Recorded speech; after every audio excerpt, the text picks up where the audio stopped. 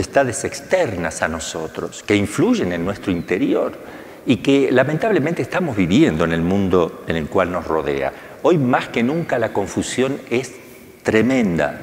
Vivimos un tiempo de, tinieblas a, a nivel humano, político, eclesial, en todos los campos, porque todo se comunica.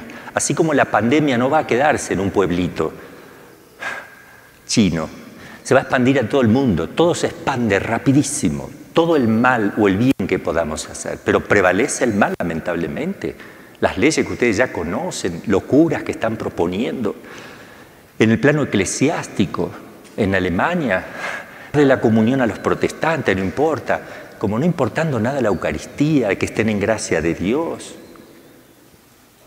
En ese contexto nosotros estamos viviendo.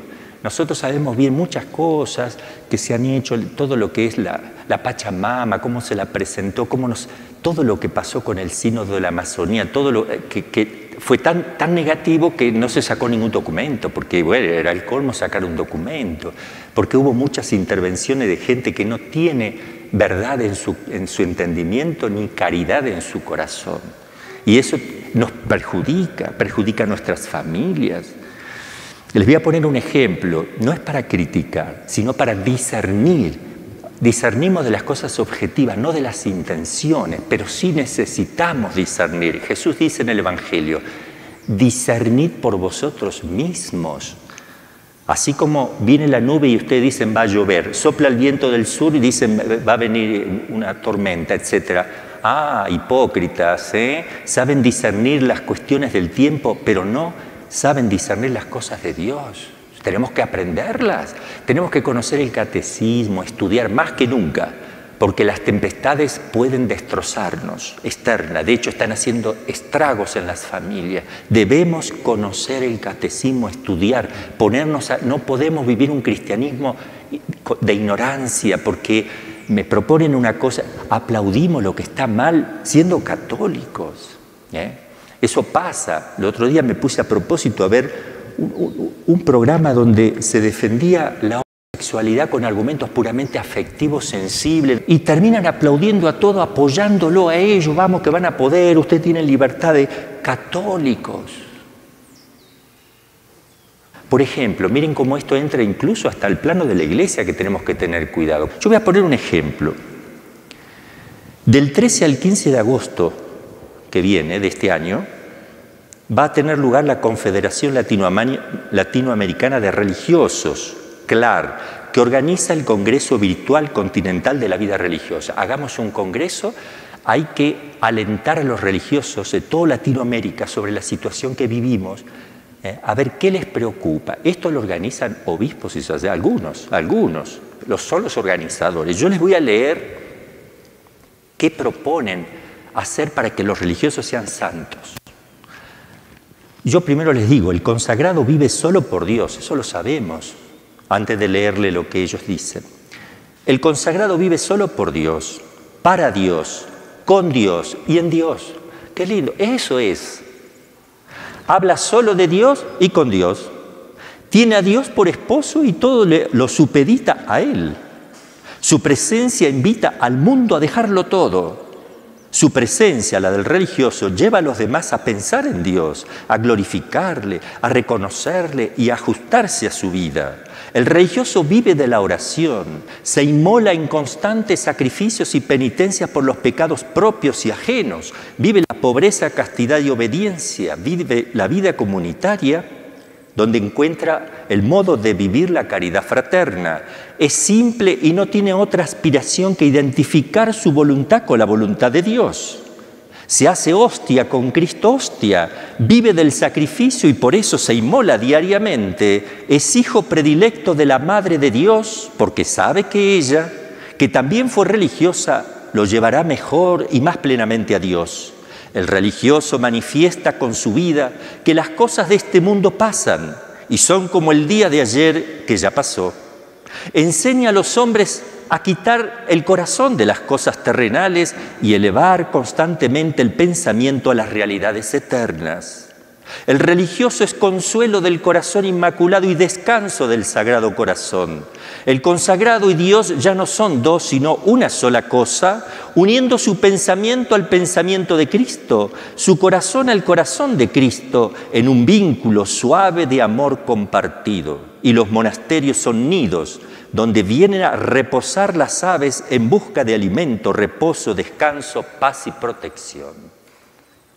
Esto es la vida religiosa, un poquito. A ver cómo la consideran aquí, qué van a tratar y qué es lo más importante.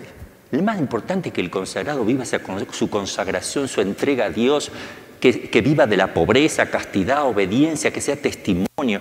Acá les voy a poner el anuncio que salió oficial para que se vayan preparando los sacerdotes. Es cortito, son unas 10 renglones, pero escuchen ustedes si entienden algo. Yo no entiendo nada. Yo que soy religioso, Dios mío, yo tengo que vivir este, este congreso, no entiendo nada. No sé, no, sé qué, qué, qué tiene que...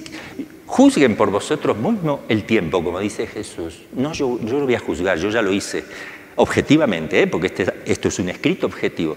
Cada uno vea y, y vea qué confusión tenemos en el mundo hoy. Les leo.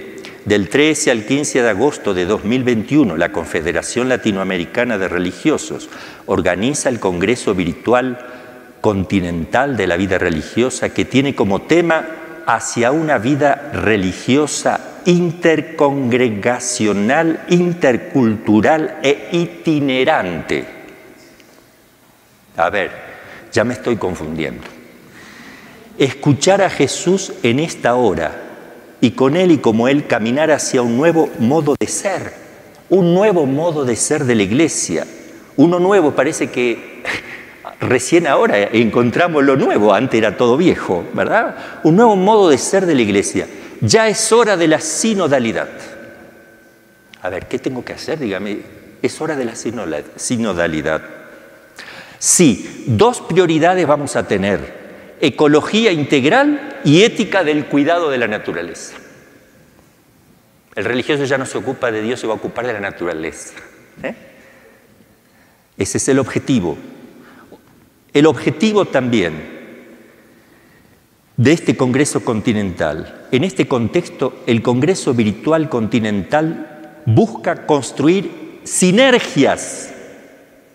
Yo tengo que construir sinergias inter, entre comillas, inter, es decir, intercongregacionales, interculturales e itinerantes. Debe, eso, esto es lo esencial, generar en dinámica sinodal un proceso de encuentro, reflexión y construcción colectiva que permita vislumbrar el hacia dónde de la vida religiosa del continente discernir lo que implica una vida religiosa asumida en clave intercongregacional, intercultural e itinerante, profundizar el espíritu sinodal, retomar la invitación a crear ambientes protectores, ambientes protectores en los que desde la pedagogía del cuidado de la naturaleza se favorezcan relaciones dialógicas, compasivas y misericordiosas, avanzar como familia universal en una conversión ecológica integral, estimulando el cuidado de la vida en la casa común. Para lograr estos objetivos se propone seguir el método teológico pastoral latinoamericano que les permite caminar con los demás desde una realidad sentipensada, sentipensada, como lugar común, articulando a la dinamicidad de la hermenéutica teológica para gestar con la fuerza de la praxis transformadora el tejido social en todas sus expresiones. Por lo tanto, el Congreso se inspira en las dinámicas de reflexión y acción que se derivan de dicho método, porque son un espacio propicio para la participación activa y la escucha discipular a partir de la reciprocidad que se evidencia entre la reflexión teológica y la experiencia pastoral. Punto.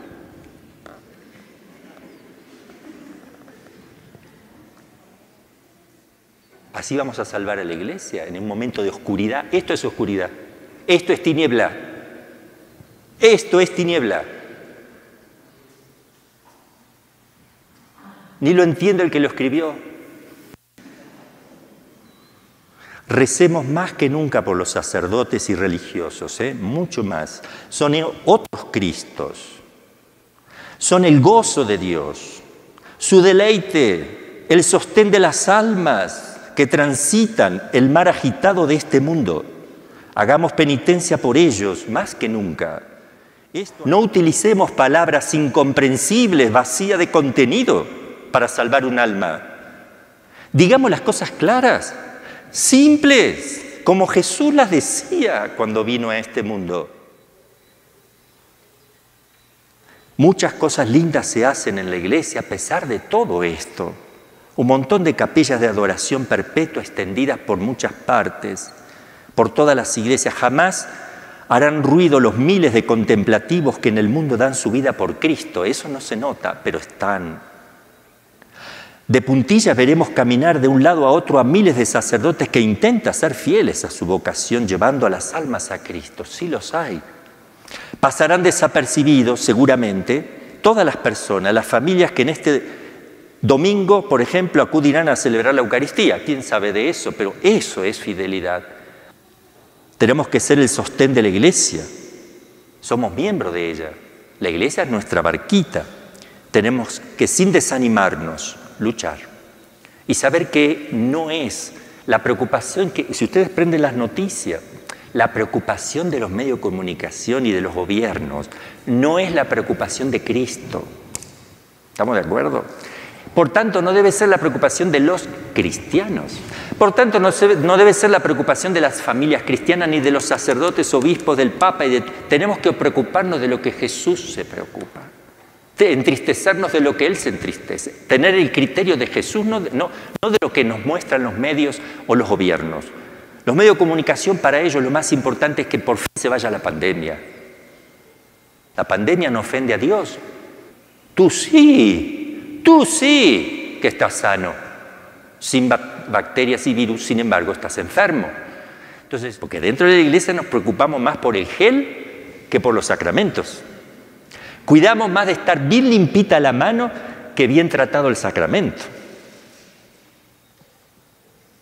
Tenemos cuidado de tener tapaboca, pero no tapamos la lengua cuando criticamos a los demás, juzgamos.